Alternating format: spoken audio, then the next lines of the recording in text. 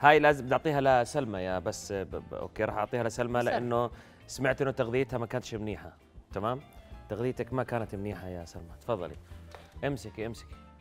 ما بدها آه، صحتين خلف- خلف حبيبتي. الكواليس. صحة وهنا هلأ حطينا البسكوت مع الزبدة بأسفل آم، قالب التشيز كيك وحطيتها شوي بالثلاجة حتى تبرد معي. بعد هيك شو الخطوة الثانية؟ مدوبة 300 جرام شوكولاتة على حمام البخار. حلو الكلام؟ الخطوة المهمة والأهم واللي بضلني أعملها ورح أضلني أعملها على الهواء حتى ترسخ في عقول آه، اللي بيحتاج إنه يعرف. آه، عندي هون الجيلاتين. أول إشي بنحط عليه مي باردة. ليش المي الباردة؟ المي الباردة حتى يتفتح الجيلاتين. اسمه عملية ال blooming أو تفتيح الجيلاتين. ما بصير نحطه رأسا بالمايكروويف لازم أول إشي يتفتح بالمي الباردة. بصير عندنا زي ال Jell-O متماسك وكتلة واحدة بعدين بنحطه بحمام بخار أو بنحطه بالمايكروويف أو بنحطه على آه، يعني بنعرضه للحرارة مرة تانية حتى يرجع يفك معنا ويرجع سائل. فهلا رح أفرجيكم مراحل الجيلاتين كيف عم بتطور معنا شوفوا كيف هلا بلش يجمد. طلع بلش يصير زي ال Jell-O.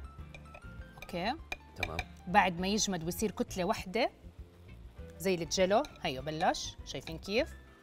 بنرجعه على حمام بخار.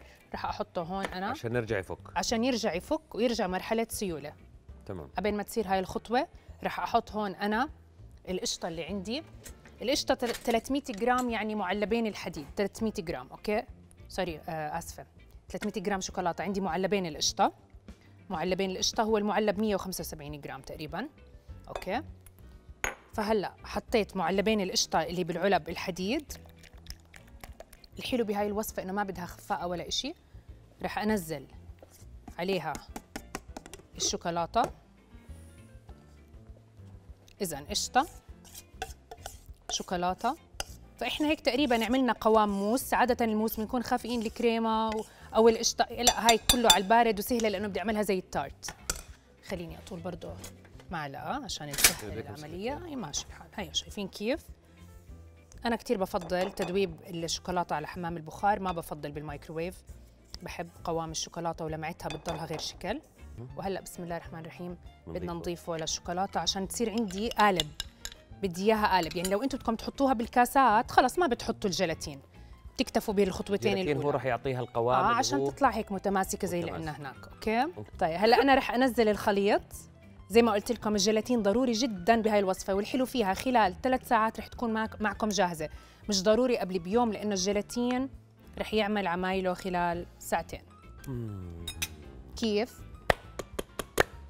بعدين بعدين مقادير قليلة. يعني أنت بس كود زبدة الطبقة الأولى بعدين عندك شوكولاتة جيلاتين قشطة. والله لا تصحيني وتحكي لي جيلاتين وقشطة ومشطة وهالسوا خليني بالعالم اللي أنا فيه بعد خليني. في حالي قول لي يا. عيني يا عيني. طيب. في كاميرا عندي هون أنا. آه. okay.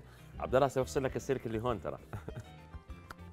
تمام. شايفين؟ بس بدي أوزعها عشان تكون سطحها مستوي من فوق ومرتبة عشان تجمد بطريقة مرتبة.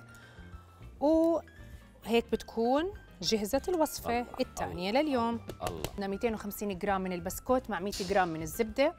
نحتاج كمان لبس اللي هو البسكوت ال- التشيز كيك يعني.